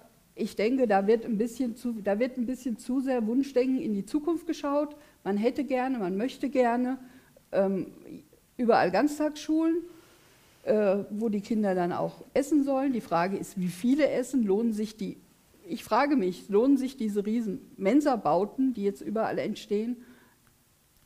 Ist es wirklich so, dass, das, dass da genügend Kinder gibt, die das auch entsprechend nachfragen? Das ist doch, Entschuldigung, aber an der Stelle, da wird äh, irgendetwas durchs Dorf getrieben.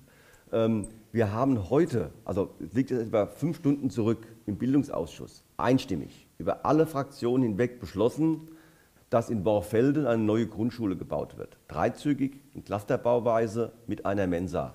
Kostenvolumen 19,4 Millionen Euro. Da waren sich alle drüber einig gewesen. Aber dann abends sich hinzusetzen und das Ganze als Skandal hinstellen zu wollen und zu sagen, ja, schön, brauchen wir eigentlich nicht, dem liegt zugrunde, dass wir an Schulen Kinder haben, die zu 80 Prozent in der Grundschule eine Mittagessensversorgung nachfragen. Es gibt eine bundesgesetzliche Grundlage dafür, dies entsprechend so zu tun. Und wenn wir vorausschauend planen und sagen, wir machen das jetzt und nicht erst im Jahr 2026, wenn es zu spät ist, und zum Thema Ausbildung der Erzieherinnen und des Personals habe ich noch gar nichts gesagt, was auch noch auf uns zukommt, dann ist das für mich alles viel zu kurzsichtig an dieser Stelle. Dies, sind dir Schulen denn nicht wichtig, wenn du sagst, der Kreis soll weniger Geld ausgeben, die Schulumlage soll gesenkt werden? Doch, Schulen sind wichtig, ähnlich wie bei uns auch der Kita-Ausbau. Ähm, was Aber wie bezahlst du es ohne Geld? Ich, nein, nein, es muss schon bezahlt werden. Die 500 Millionen, die der Will gerade auf seinen Plakaten äh, propagiert äh, oder plakatiert, muss man ja sagen, sind für den Zeitraum 21 bis 24 damals angesetzt gewesen. Dort hat der Landrat schon weit über 100 Millionen nicht mehr ausgeben können, weil, wie er sagt, ihm das Personal fehlt. Ähm, ich sehe es ähnlich, dass wir gucken müssen, in welcher Bauweise bauen wir den Baukörper. Passivhausbauweise ist nicht immer der richtige Baukörper oder die Bauweise für ein Gebäude, wenn es nicht entsprechend genutzt wird. Also Schulumlage senken dadurch, dass man anders baut? Genau, ist das dein Vorschlag? unter anderem. Also man muss nicht alles in Passivhausbauweise bauen. Ich finde schon, wir müssen nachhaltig bauen, aber die letzten 10 bis 15 Prozent, um den Passivhausstandard zu erreichen, die finde ich, kann man schon mal reduzieren. Und dann hat man nicht an der Qualität gespart, sondern nur an der Effektivität oder der Bauweise des Baukörpers. Also Entschuldigung, die aktuelle NF ja, im Verhältnis zur Passivhausstandard macht 3% in Baukosten aus. Ja. Alles andere wie Lüftungsanlagen muss ich auch haben, wenn ich über NF baue an dieser Stelle. Und wir sind froh, dass wir mittlerweile bei uns im Kreis Groß-Gerau 30 Prozent unserer Schulen so ausgebaut haben, weil an denen hatten wir nicht diese unsägliche Lüfterdiskussion gehabt wie in anderen Regionen. In 30 Prozent unserer Schulen haben wir zentrale Lüftungsanlagen.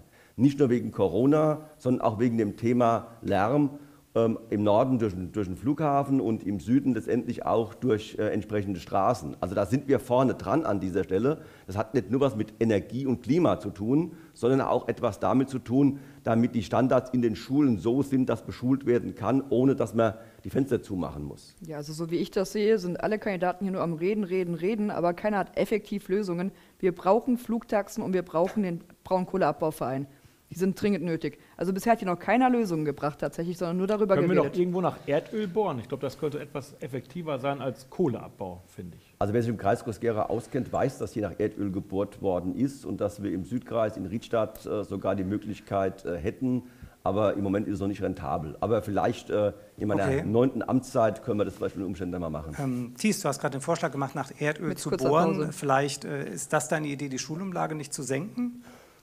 Weil äh, wenn wir jetzt mal in die Schulen reingehen, also äh, ich, ich lasse das gerade mal so stehen, äh, Thomas sagt, es sind nur 3 Prozent, du sagst, es sind 15 Prozent, gehen wir mal in die Schulen rein. Du hast gesagt, äh, Digitalisierung ist ein ganz wichtiges Thema, aber auch Schulen müssen digitalisiert werden, die brauchen digitale Arbeitsmaterialien, die brauchen Apps, die brauchen ganz viele Dinge, die kosten ja auch Geld. Richtig. Wie möchtest du Kosten senken und solche Features neu ähm, an die Schulen bringen?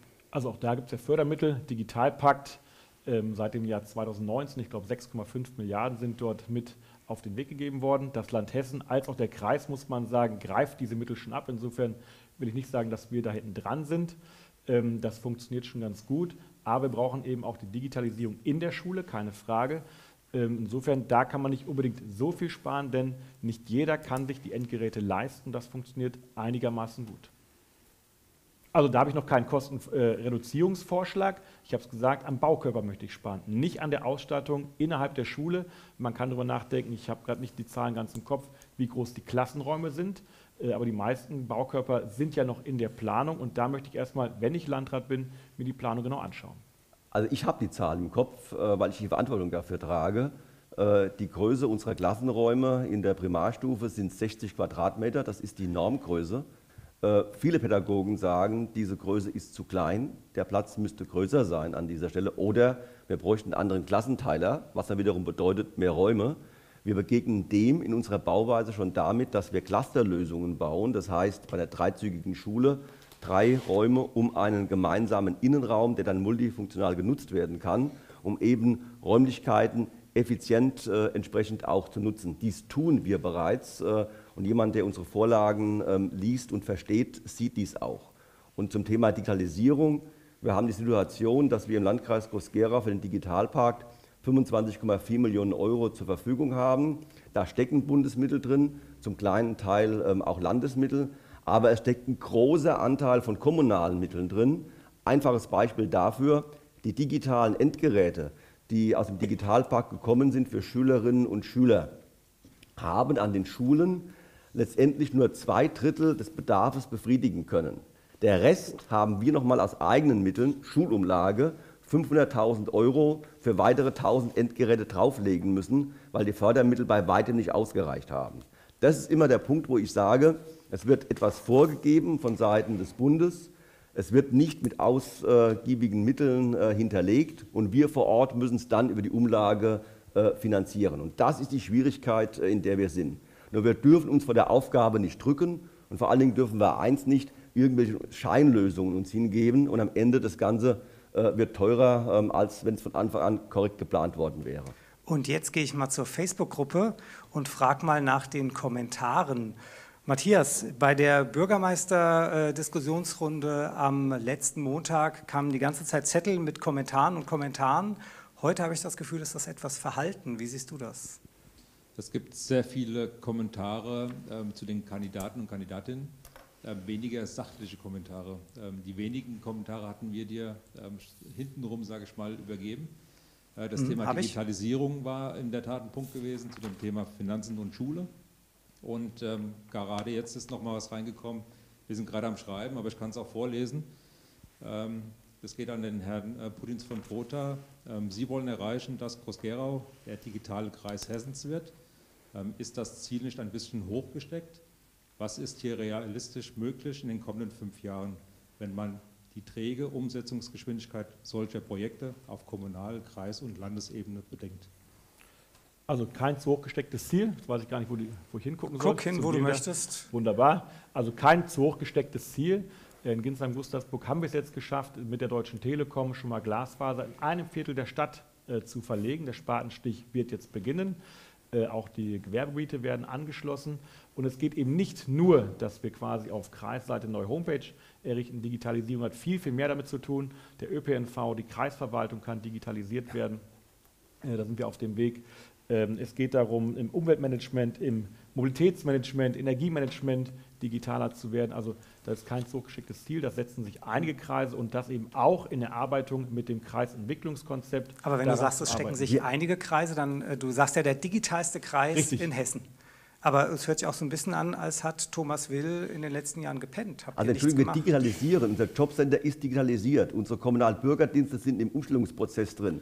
Wir sind, es ist äh, aber viel mehr. Will. Es geht im Bereich Logistik, Tourismus, Bildung, Kultur, Handwerk, oh ja, dann Verwaltung. Sie, ja, dann, einfach nur, dann bleiben Sie mal Bereiche. konkret. Dann bleiben Sie mal konkret. Digitalisierung von Tourismus im Kreis Groß-Gerau. Spannendes Thema.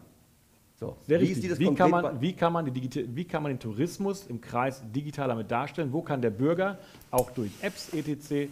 Äh, quasi den Kreis sich bereisen, auch im südlichen, meinetwegen Deutschland, sich über den Kreis Groß-Gerau mit informieren. Also es gibt ganz viele Prozesse, die wir hier digitalisieren können, um der Digitalkreis ja, Dann frage ich doch mal zurück. Ist Ihnen denn bekannt, zu welcher Destination der Kreis Groß-Gerau gehört? Gut, wir gehören zu Frankfurt. Das heißt, die gesamte touristische Vermarktung des Kreises Groß-Gerau verläuft über Frankfurt an dieser Stelle. Die Alternative wäre Bergstraße oder sonst irgendwo. So. Da versuchen wir mit unserem Know-how und unseren Möglichkeiten, die wir haben, auch den finanziellen Mitteln, denn wir können nicht die Millionen reinhauen wie Wiesbaden oder äh, wie Frankfurt oder wie die, wie die großen Städte. Wir versuchen mit kleinen Mitteln dort den Kreis entsprechend zu vermarkten. Aber der Kreis wird nie ein Tourismuskreis sein, der sich alleine vermarkten kann und der alleine eine App gestaltet, sondern wir werden immer darauf angewiesen sein, mitgenommen zu werden.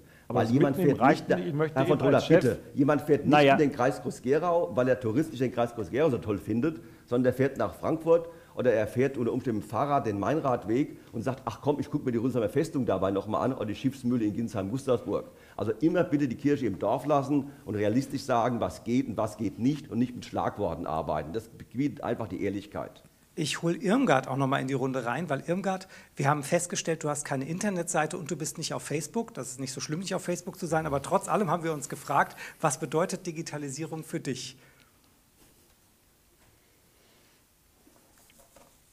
Also das hat ganz viele verschiedene Aspekte. Es ist bestimmt nicht Digitalisierung oder allein Digitalisierung, wenn wir überall am Breitband hängen, sondern, sondern? es kommt natürlich darauf an, dass die, ähm, die Prozesse tatsächlich digital gestaltet werden. Ähm, wir sollten, wurde vorhin schon gesagt, wir haben mittlerweile äh, 1000 Mitarbeiter im, im Kreis. Das ist eine Steigerung von ich sage jetzt mal geschätzt, ein, mehr oder weniger ähm, kann ich jetzt nicht sagen, aber die haben wir in den letzten sechs Jahren erlebt, dass sich das fast verdoppelt hat. Eine Idee wäre natürlich, dass die Prozesse innerhalb der Verwaltung effizienter werden, aber das sollte sich dann auch irgendwo dann in der, in der Personalentwicklung niederschlagen. Das, das, kann ich, das kann ich bisher noch nicht sehen. Ich will es aufgreifen, auch Prozesse auf. mit digitalisieren.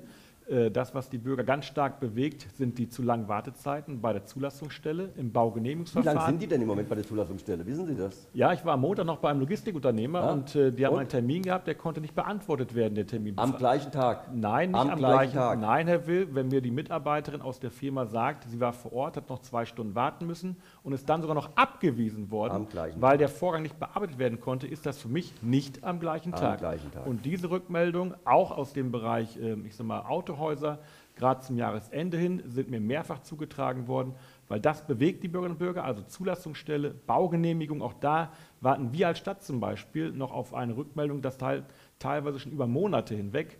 Und insofern in diesen Bereichen kann mehr digitalisiert werden. Hm. Ich habe bei Digitalisierung immer das Gefühl, es geht sehr schnell um das Thema Hardware, um Breitbandausbau. Ähm, Vielleicht, Thies, guckst du mal bei Digitalisierung auf das Thema Schulen. Heute, die Kinder, die heute in die Schule gehen, werden wahrscheinlich zum Großteil oder zu einem beachtlichen Teil in Berufen arbeiten, die es heute noch nicht gibt. Richtig. Ist das nicht etwas, was in das Thema Digitalisierung genauso mit reingehört wie Breitbandausbau oder Hardware? Vollkommen richtig. Also Digitalisierung? Digitalisierung äh, muss in der Schule mitgenommen werden. Wir brauchen dort die Ausbildung an und mit den, äh, ich sag mal, digitalen Endgeräten, aber auch, wie funktioniert das Internet, was kann ich dort machen. Ich finde es aber, man darf nicht in Klasse 1 schon beginnen. Also muss man ganz stark gucken, ab welchem Alter nehme ich die Schülerinnen und Schüler mit. Ich brauche noch auch das normale schriftliche Schreiben lernen mit dem Stift und dem Blatt Papier. Thomas, Dann aber du, muss Digitalisierung ist auch ein Schulthema, ein Bildungsthema? Ja, eindeutig. Und Was muss dafür immer, geschehen? Und zwar, und zwar immer weitergehend, äh, je weiter wir in der Stufe nach oben gehen. Und was auf keinen Fall vergessen werden darf, äh, ist das Thema ähm, Ausbildungsgänge an unseren beiden beruflichen Schulen im Kreis Kos-Gerau, gerade im Bereich ähm, von digitalen Berufen. Und das ist eine große Gefahr, die ich sehe, dass landesweit diese Ausbildungsgänge in den großen Städten und äh, in den Metropolen zentralisiert werden und wir als Landkreis, und auch andere Landkreise, dann hinten runterfallen und damit weniger attraktiv werden. Und deswegen arbeiten wir im Moment auch gegen das Land und gegen das Kultusministerium, die immer weiter zentralisieren wollen, um unsere Berufsschulstandorte zu halten, gerade mit Blick auf Berufe der Zukunft im digitalen Bereich. Damit sind wir durch Digitalisierung wieder an den Schulen. Die Schulumlage doch vielleicht dich senken oder meinst du, dass das alles durch Fördermittel finanzierbar ist? Nein, ich habe ja gesagt, Schulumlage nicht senken aufgrund der inhaltlichen Qualität. Ich möchte noch betonen, nicht aufgrund der Qualität. Ich möchte aber auch sagen, Digitalisierung ist wichtig, trotzdem dürfen wir das Handwerk nicht vergessen. Auch da die Rückmeldung, wir brauchen Leute, die das Handwerk noch erlernen. Viele Betriebe gehen kaputt, weil der Nachwuchs fehlt. Also richtig, Digitalisierung auf der einen Seite, es gibt Berufe, die wir noch gar nicht kennen, aber es gibt genug Berufe, die sich zukünftig nicht digitalisieren werden lassen. Ja, auch hier mir wieder die konkreten Forderungen. Also wir fordern explizit Faxgeräteausstieg bis 2025. Und man sollte auch nicht die Kindergärten vergessen. Mal ganz ehrlich, also Kinder fangen schon mit dem Smartphone an, da sind die keine zwei, die können das Ding besser bedienen als wir alle im Raum hier. Und äh, deswegen fordere ich auch noch Oberprojektoren für Grundschulen und Kindergärten schon vorab, also nicht erst ab der weiterführenden Schule.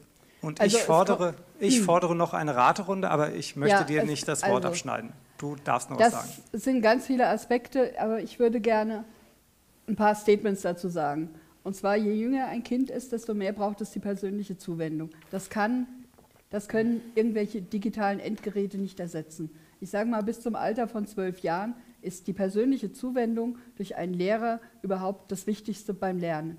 Wenn wir in Berufe, wenn wir jetzt von Berufen sprechen, die es heute noch nicht gibt, dann bedeutet das, was Schüler brauchen, ist vor allen Dingen eine Lernkompetenz. Die Lernkompetenz er, erarbeitet man sich, der Schüler, in der Jugend bis zum siebten, achten, neunten Schuljahr vielleicht. Und auch das ist dann der Zeitpunkt, wo man erst nach und nach in die Digitalisierung gehen kann.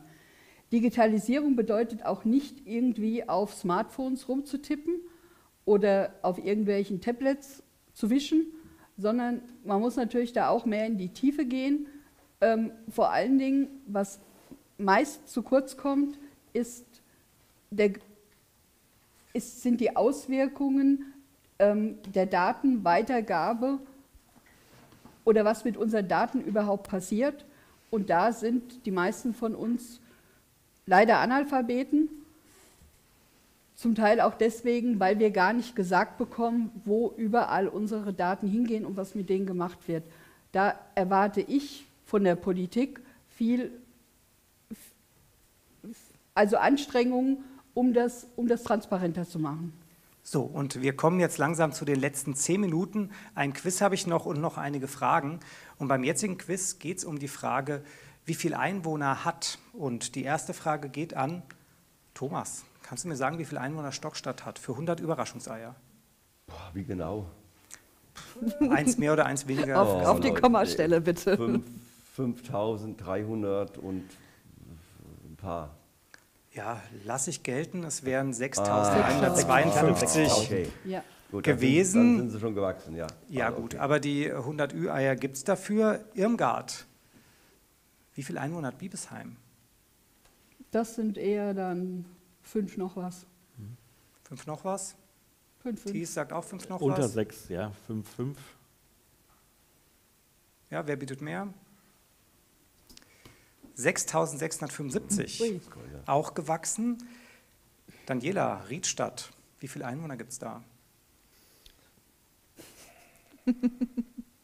Also ich kriege da hinten absolut keine Tipps. 24, Peace-Zeichen, irgendwas mit 23. Peace-Zeichen. 24 Also äh, 25. vielleicht, vielleicht für Ja. euch da draußen als Info, Also sind so Daniela, hat, 22.000. Daniela hat Unterstützung dabei, ähm, aber ähm, da ich Gebärdensprache kann, diese wird hier gerade nicht angewendet. Also wie viel sind es? Also äh, 22.000 mindestens. Also. 23. Ja, 24.400. Oh, Riedstadt, ich habe es nicht eingeblendet. So, 24.000, na, 4, nicht 400. Ja, ähm, lasse ich auch gelten. Wir wollen ja die Eier ins ja Ahrtal mindestens schicken. gesagt. Thies, Kelsterbach. ja. Ich sag jetzt mal, waren es 11, 11, 12? Mehr. 15, Mehr. 3, Mhm. 15, 12. 15. Thomas kriegt die Eier, er ist am nächsten dran. Ah, 16.983. Der Kreis wächst. äh, Der Kreis ist auf jeden ja, Fall größer, als ihr, äh, als Ja. ihr alle denkt. Das kann man festhalten. Das sind dann Und mehr die nächste. Runde heißt, warum? Weil. Warum wollt ihr Landrat werden? Oder anders gefragt, warum denkt ihr, ihr wärt ein guter Landrat? Thies, warum denkst du, du wärst ein guter Landrat? Gerne kurz antworten, weil so viel Zeit haben wir nicht mehr. Bringen frischen Wind mit in die Verwaltung, neue Ideen aus Ginsheim-Gustavsburg mit Erfahrung, fünf Jahre Bürgermeister. Und ich glaube, das täte dem Kreis gut, aus diesen eingefahrenen Strukturen herauszukommen. Die Mitarbeiter mitnehmen ist mir ganz wichtig, um dort eben gemeinsam neue Ideen und Projekte umzusetzen. Irmgard, warum wärst du eine gute Landrätin? 75 Jahre SPD-Landräte ist definitiv genug. Und es braucht jetzt mal eine Gegenentwicklung. Thomas, warum solltest du weiter Landrat sein? Weil all die Ideen, äh, die ich noch äh, vorhabe, ähm, ja, einfach, ähm, ich äh, kann mich danach schreien, ja, dass ich einfach sechs Jahre weitermachen kann. Daniela, warum wärst du die richtige Landrätin für unseren Kreis? Äh, weil die junge Union fordert, dass äh, keine Männer über 55 es machen sollten und das geht mir auch nicht weit genug. Deswegen sollten es Frauen unter 35 machen. Zudem wünscht sich mein Mann seit Jahren, dass er tatsächlich äh, Hausmann werden kann. Das ist der Grund, warum ich dieses Jahr schon den dritten Wahlkampf hinter mich bringe. Wofür hast du noch kandidiert? Äh, Bundestagswahl und Landtagswahl in Rheinland-Pfalz. Ich äh, schätze Und nicht ganz erfolgreich, sonst wärst du heute ja. nicht hier. Äh, wunderbar nicht, äh, absolut erfolgreich tatsächlich. Also seit Kriegsende das höchste Ergebnis erreicht. Darauf kann man stolz sein. Thies, was ist deine Vision? Angenommen, du kannst eine Sache als Landrat nur umsetzen. Was würdest du umsetzen?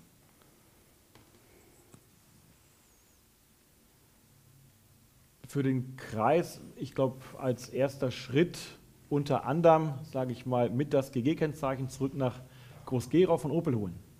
Denn die Identität der Bürgerinnen und Bürger mit dem Kennzeichen ist doch sehr groß. Ein wichtiges Thema, was auch im Wahlkreis äh, Ich, mit ich, ich wiederhole nochmal die Frage. Wenn du nur eine Sache machen könntest als Landrat, würdest du dieses Kennzeichen zurückholen? Ich sag mal, Man muss die Prioritäten Schulden, setzen. den, den Kreis entschulden. Wissen, was wichtig Den Kreis entschulden. Irmgard, was würdest du machen, wenn du eine Sache verändern könntest?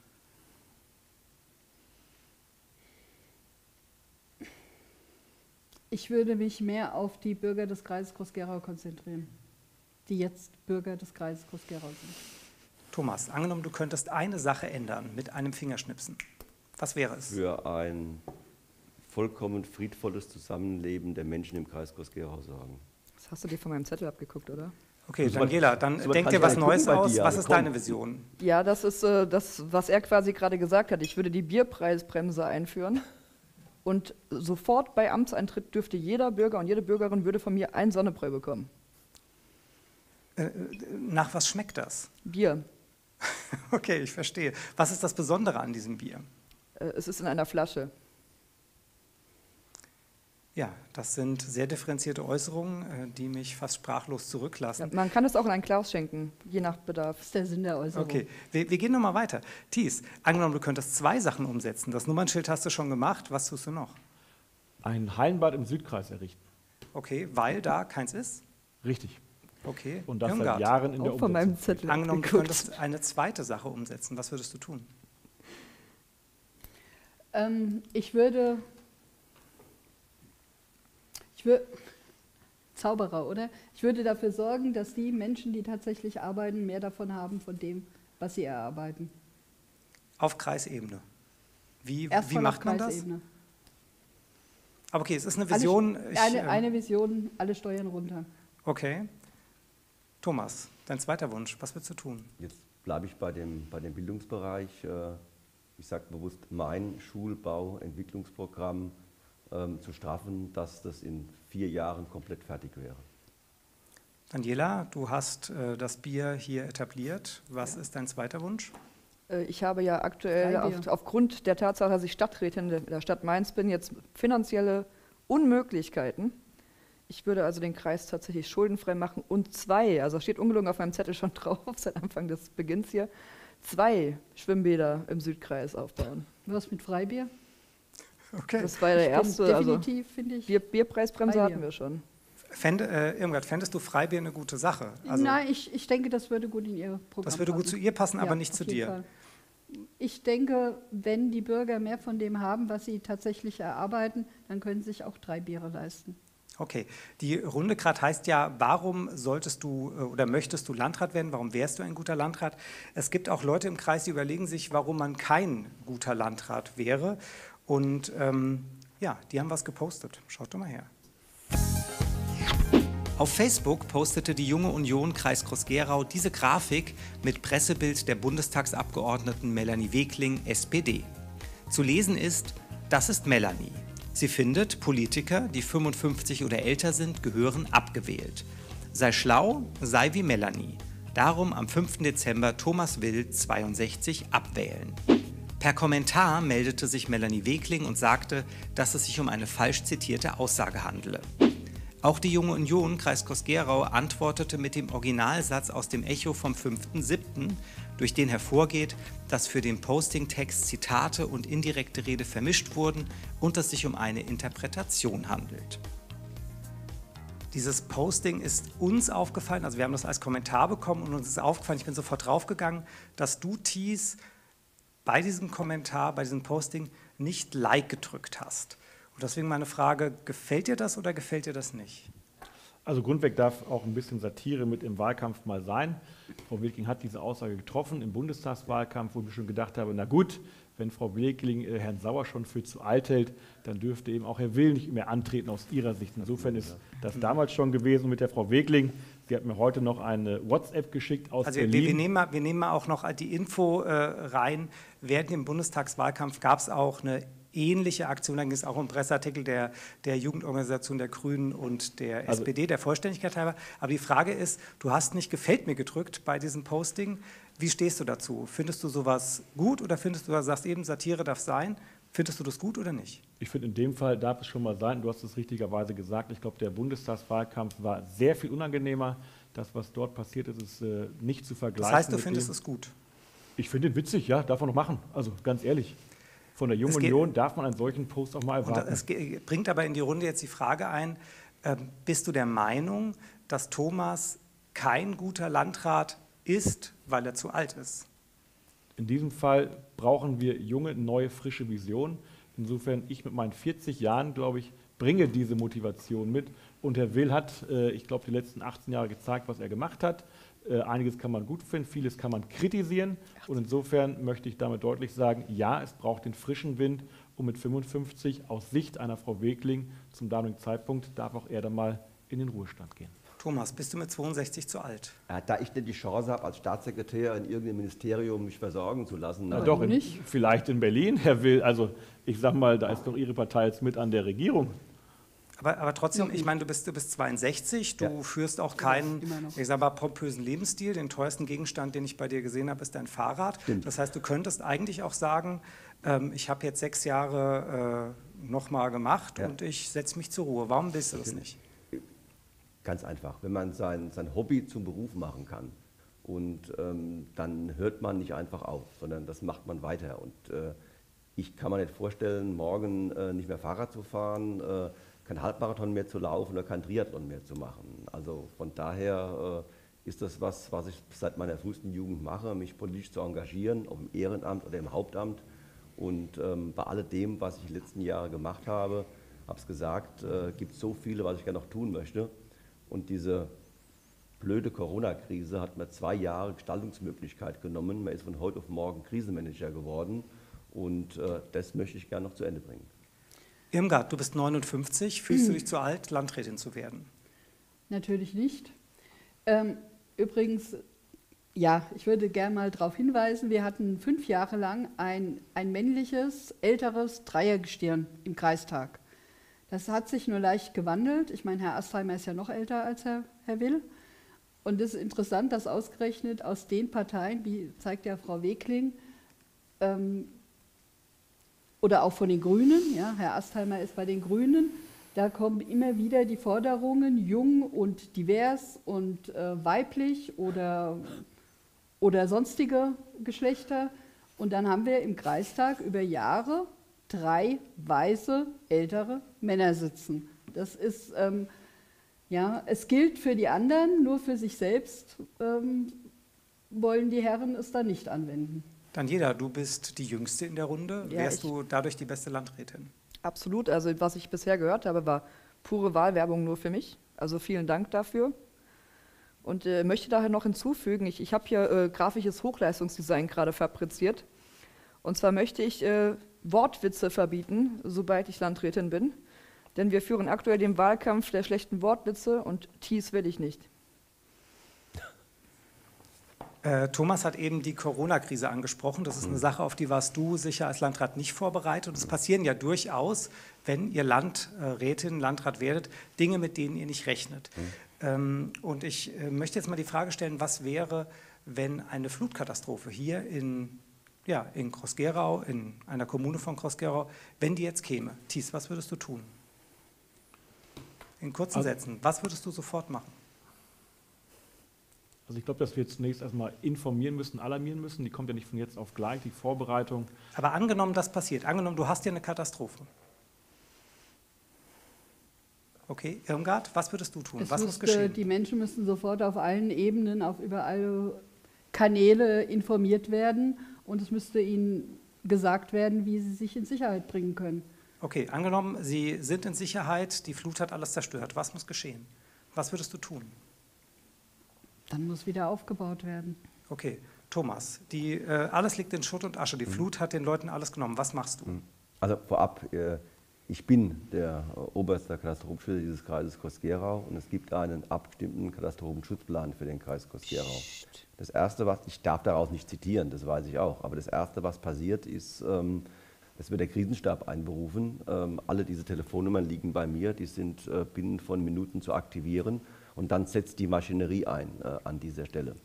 die Flutkatastrophe hat ja gezeigt, was die Menschen in diesem Moment brauchen. Das steht ja in ja. keinem Lehrbuch. Was würdest du tun? Also nochmal, äh, wir sind in der Lage, sofort äh, mit, mit Zelten, mit Feldbetten, mit Nahrung, mit äh, Fahrzeugen äh, in die Gebiete reinzugehen und den Menschen ähm, entsprechend zu helfen, zu retten. Das ist das Erste. Das Erste ist Leben retten an dieser Stelle. Daniela, was würdest du tun? Also was ich schon mal nicht tun würde, ist unangemessen lächeln, zum Beispiel bei einer Flutkatastrophe.